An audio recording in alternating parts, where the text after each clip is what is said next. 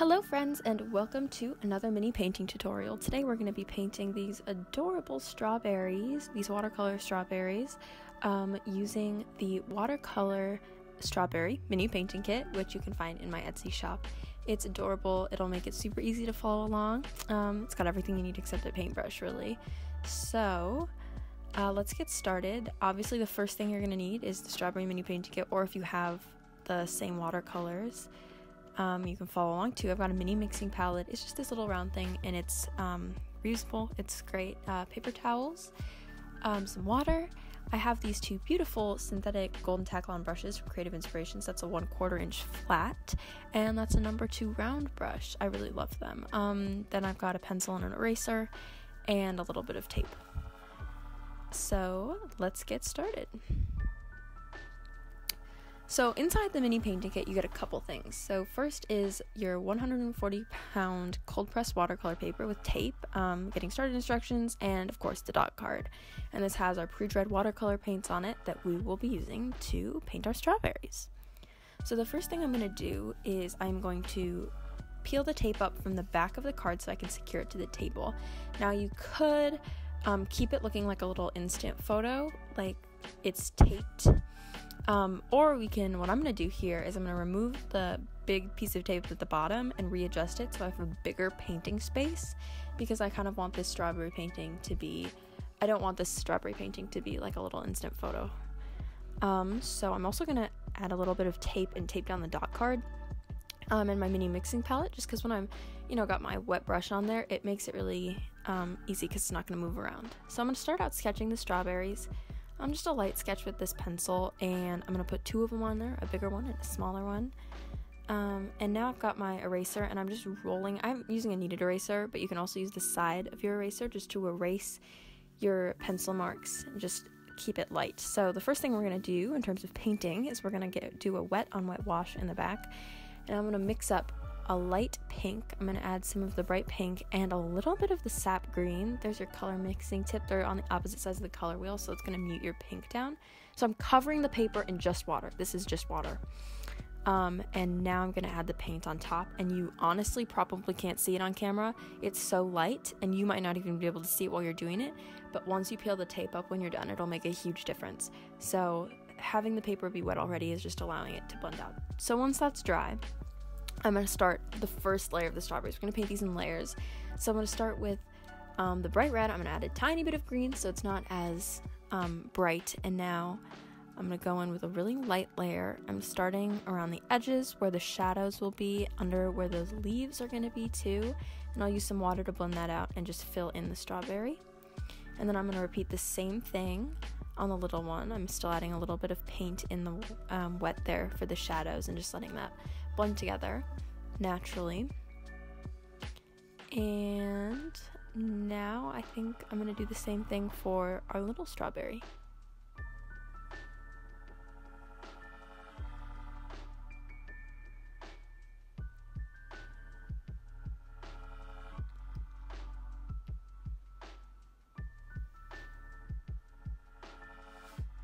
So now I'm taking um, my damp brush and I'm using it to lift some of that paint up so we get more of a um, accentuated highlight on the strawberry, I guess, um, where the light's hitting.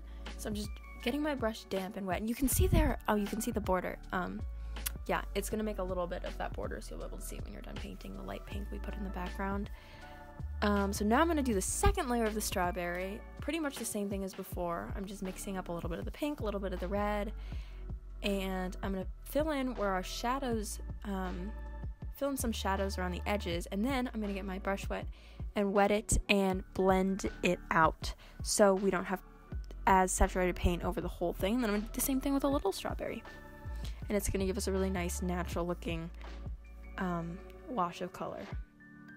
I'm also doing a little bit more lifting to keep that highlight kind of bright. I'm, you can see I'm putting a little bit of pressure on the tip of the brush just um, to pick up a little more paint. So now that's dry.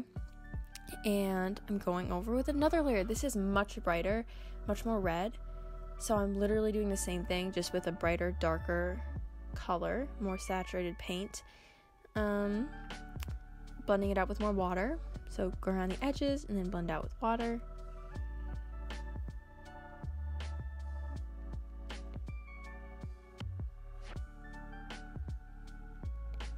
And so now I'm mixing our last layer. It's a much darker, a lot more pink. Um, and my hand is covering it, but I'm just going doing a really thin liner on the outside and then blending it in so it's not really as much of a layer as it is the last little shadows. So now we're mixing the leaves.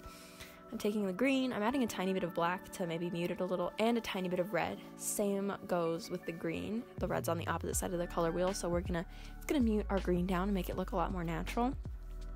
So now I'm just gonna go in and fill in where I sketched out those leaves that kind of come out from the center of the top of the strawberry. And we're gonna do, I think, two layers of these leaves. You can also see I'm dropping a little bit more paint in the center there, so it kind of bleeds out a little bit and it flows. And then um, I think that's dry now, and we're gonna add in. Actually, the paint is still a little bit damp, so it's not totally dry. Um, we're gonna add in a little bit darker of a green. I think, yeah. Doing this as a voiceover, so I'm trying to remember what I did when I painted this. So yeah, now we're going in with the center. We're gonna add a little bit of darker green in the center and finish up our leaves. Oh, and I'm blending it out with a little bit of water too. So now I believe I'm mixing the brownish color for the little seeds. Strawberry seeds are a weird color. It's kind of like a brownish, yellowish, white-ish color, and I'm just gonna mix a brown because it's really easy. Going with a green and a red and a black, just opposite on the color wheel, and the black just darkens it a little. And I'm gonna add in our little strawberry seeds there. Really cute. Going in with light pressure, but I don't want to add too much water so they show up. I did something funny with that seed in the middle there. I don't know if you can see it. So now I'm just adding, doing a little bit of lettering. It was really hard because it was tiny. It was so tiny. But the black watercolor here is really nice and dark. And I added that little title in, and now I'm peeling the tape. And it's still kind of hard to see on camera because it's such a light color, but you can definitely see the border that we got from adding that light pink, which I think it turned out super cute. So that is our strawberry painting.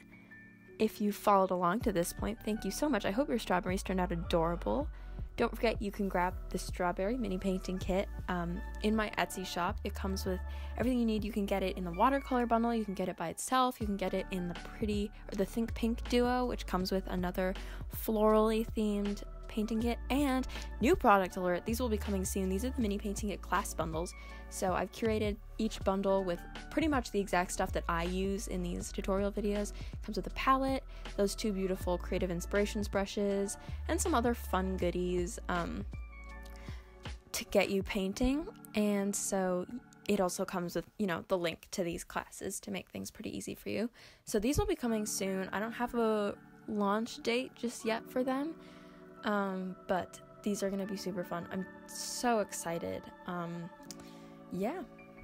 So thank you so much for watching. Um, hope you have a great day. I will see you soon. Bye.